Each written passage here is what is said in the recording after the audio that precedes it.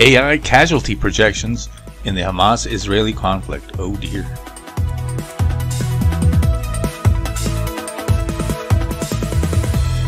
Hello, this is Chart GPT today. Yes, I know this may seem a little cold and cal calculating and not to, to discount any of the horrors of war, but it is useful to understand what the potential casualty rates are. So we're going to do some projections here using the AI models, and so we're going to see if uh, if it will affect the, the geopolitics uh, going forward. So it is important to understand what's going on relative to the current strategies being employed by both sides of the conflict. First off, we want to show that you know casualty rate numbers are always hotly disputed in wars for obvious reasons. Obviously, Israeli wants to show that they're being uh, surgical in their efforts, and of course Palestinians want to show that how they're being collectively punished. So there's that, but you can see the differences there. Can be anywhere from 30 to 50 percent divergence between, depending on who wants to write the history, so to speak. So there's that. So keep that in mind when we look at this. We're going to use the Israeli numbers in our calculation, so you'll have to deduct our increase relative to whether you believe the Palestinian numbers or not. Kind of look at some of the human costs historically. Um, we can see that uh, it has been hugely outweighed the Palestinian losses relative to the Israeli losses. And here's a little bit more of a detailed, you can see that this conflict by far will probably be the worst in recent memory. Here's a chart that kind of shows you kind of the current status. I think these numbers are a little off. I think the one in the description box we provide some of these links to to validate what uh, give citations around the numbers that we're presenting here. About 9,900 is the latest I've seen, but so this is a little bit off. Obviously, this is a changing number in terms of how many Palestinian casualties. So we also look at some more detail in terms of food security. You can take a look at that. How many people have been displaced? 40,000 housing units, 220,000 partially damaged homes, and different things that have been destroyed. And so you can see see these numbers there. Obviously, it's devastating if you want to get into the details. So let's get into the AI projections. Now we have a few assumptions before I present this we're assuming about 2.2 million uh, Palestinians in the Gaza Strip.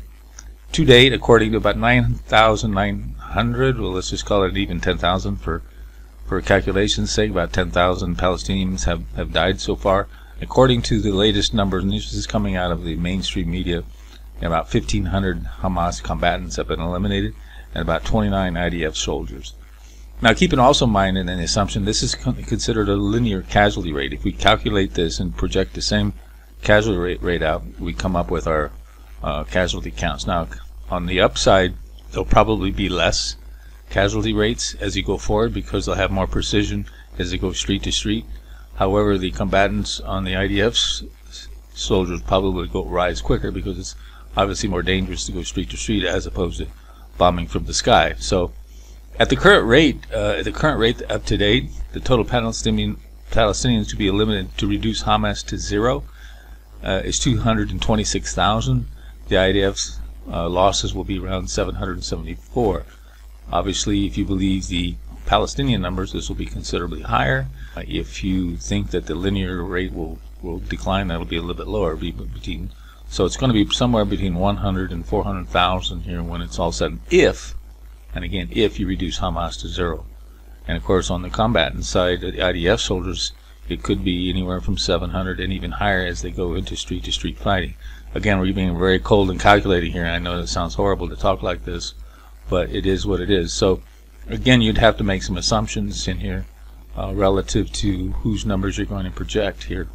What is the likelihood of this happening? Well, probably nil, because uh, we've shown this chart before but somewhere between now around the 10,000 to 50,000 the politics is going to change and people are not going to accept these kind of casualty rates if we continue at, at this rate so my guess is that the geopolitics will probably change. We're already seeing a lot of protesting already in the streets etc etc and uh, obviously the strategy of Hamas is to create a genocide to bring sympathy and a wider conflict. If we have a wider conflict obviously these numbers go way out. So that's another issue. And again, you know, these numbers are not necessarily, I mean, being a bit cold and calculating, but it is the horrors of war, and these are the sad realities. It will uh, obviously change the geopolitical situation, and most likely none of these numbers will occur, but it is interesting to see that, so you can begin to see what's moving the politics here. Check out the AI. You can uh, change the equation however you would like to get a different outcome based upon your beliefs if you think our assumptions are wrong and take our online poll. Do you think these casualty numbers are real or false? And don't forget to subscribe.